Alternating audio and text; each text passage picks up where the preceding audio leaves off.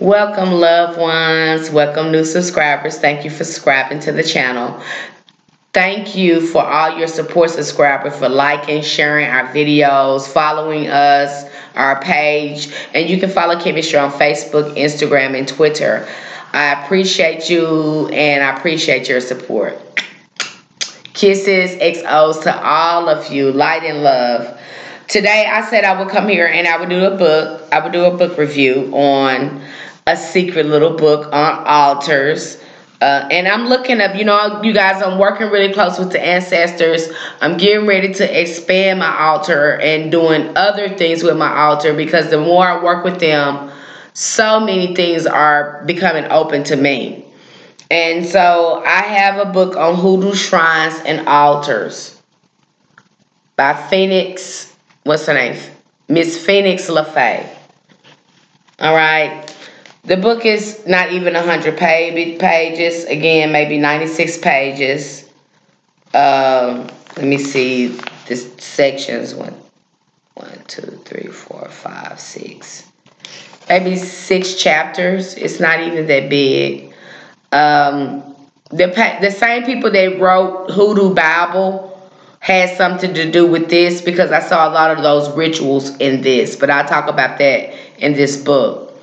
This book is really good because it talks about different altars that you can erect, such as saint altars, love altars, altars just for spiritual work, altars for healing, altars for hospital healing, um, just different stuff. You know, and then it talks about shrines. Um, I like this book. I really did. However, what I didn't like about this book is that I saw a lot of repetitive rituals that was in the Hoodoo Bible book in this book. And that's what I didn't like about it because my main purpose for buying this book was to learn more about ancient, uh, about uh, ancestral rituals and ancestor altars. So I was wanting to know more rituals about working with altars. And I just didn't get, you know, I didn't get enough definite enough ritual altar ritual information that I wanted in this book. I had little hints of it because, you know, back back in this era, I know they had to hide a lot of their rituals and the things that they're doing. So I had little hints of it because they talk about robes in here and how they wear different robes, the channel in different energy. Uh, little hints of it uh, about the uh, altar cloths, about what type of altar cloths you should use on your altar. So I saw little hints of it, but far as a full ritual for each altar that you erect, I didn't see that. And that was my drawback with this book. But far as what really interests me was the uh, ancestral altar. I was really moved by the fact that I can make it bigger and I can do other stuff with it. However, uh, I was really interested in the love altar as well, is healing my, my relationships, bringing more love in my life. That really interested me. And the healing altar which because you guys know i'm doing a lot of healing. So those altars really interested they really interest me. And i'm really thinking about erecting those two altars in my home like i have enough altars as it is but i think i need to change up some things the ancestors have been pushing me to change up some things so I am going to change up some things when it comes to my altars. I've really been talking to my spirit guides and ancestors about, you know, what kind of altar should I erect and what kind of energy do I want to work with. So that's why I thought it was important to read this book. I do recommend it because it talks about the different altars that you can erect and the different ways that you can use an altar. However, it doesn't go into different, you know, just getting in depth with the, the various rituals that I was looking for to empower your altar. But they do say that they're going to your altar and kneeling to your altar and praying for your altar, talking to your altar. It gives it power.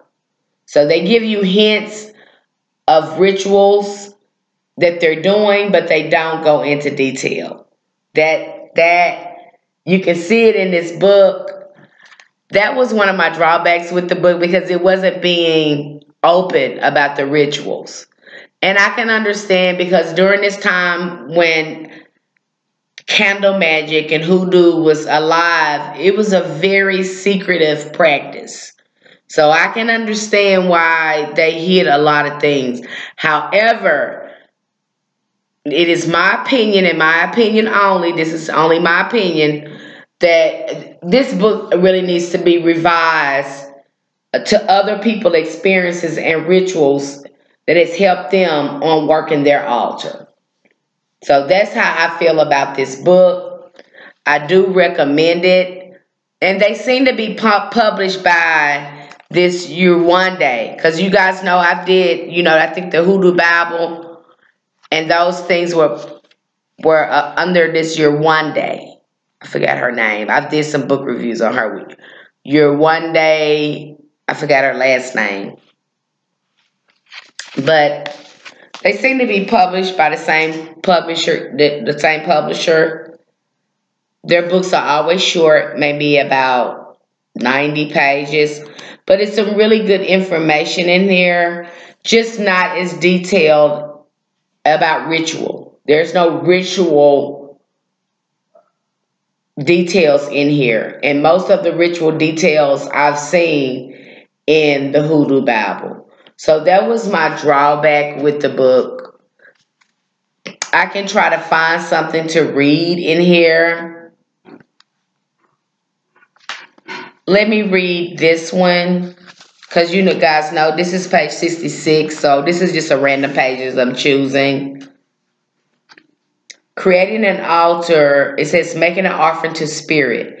Creating an altar for an ancestor, Catholic saint, deity, or other spirit is the first step toward the work that you will do with those entities. Once you have an altar established, you can begin to develop an ongoing relationship with these spirits. It is important that you continue to interact with the spirit at your altar, leaving offerings and spending time with the entities whom you have called upon. Spending time at your altar doesn't have to have a specific set of actions to it. And there isn't one ritual, activity, or initiation that you need to know about your altar to be effective. Oh, wow. Just keep in mind that you have invited a spiritual being into your life and into your home. Treat that spirit like you would any corporal person. Don't ignore the spirit being's energy and don't forget it is there. Treat non physical entities with proper behavior and expect the same from them. Honor them by taking time with them. The more you sit with your altar, the more you will begin to hear and understand messages that these entities may be sending to you. So I'm experiencing that too the more I sit at my altar and talk. However, you know, I'm looking for ritual. And I just wanted more of those rituals to be shared. So they're, you know, they're saying that there's no specific ritual. But I like to hear other people rituals that it would give me ideas on what type of rituals I need to create to connect on a deeper level with my altar. So that's why ritual was so important to me. So how do you plan on working at this space? Are you setting vigil candles? Are you burning incense? Are you doing anything with magnetic sand, lodestone magnets, or pow powders? Lodestones are very, very popular in hoodoo, working with hoodoo energy or working at hoodoo system. That is very, very popular because it's all about attraction too. Are you sitting in meditation? Are you reciting prayers and psalms? Are you calling out the names of your ancestors? Are you laying out plates of food, glasses of water, wine, liquor, and other libations? Remember that every time you light a candle, every time you ignite some incense, every time you set down a glass of water, you are helping to feed the entity that you have invited into your home. Take these steps seriously and give the spirit the attention and reverence that it that it and any entities whose alliance you seek deserves. In addition to burning candles or lamps, you can also include such offers as small dish of Kananga water, Florida water, whiskey, or drink or your ancestor or the spirit's favors. A cigar, a cigarette, a pinch of chewing tobacco, snuff can be offered, as well as fa- favored candles, sweets, or flowers. Some saints prefer traditional food offerings such as breads, cakes. Don't allow the food, candles, liquids, or flowers to spoil. If your altar is inviting please and in pleasing to your ancestors, saints, deities, or spirits, then they will be more inclined to visit it, to look up on you favorably, and to aid you when you call on them. So I thought that was a very interesting passage. Like I said, there's no specific rituals or anything in here.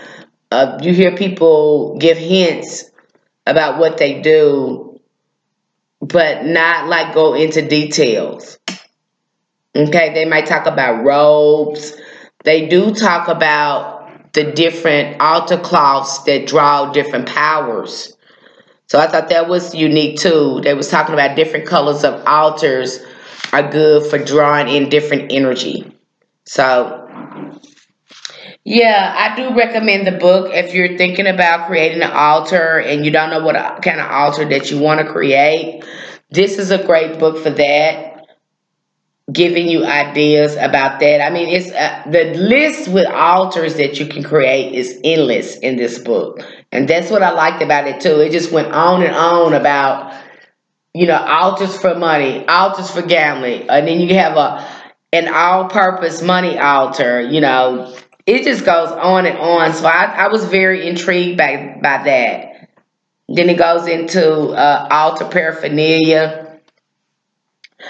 Do I recommend the book if you never set up an altar and you want to know more about altars and shrines and you want to make sure that you're doing it right? Yes, I recommend the book. If you're wanting to know more rituals to do on your altar with this book, mm, no, I won't recommend it for that because I was looking for ritual. I'm looking for the strength and con- the connection, you know, and that's just my perspective.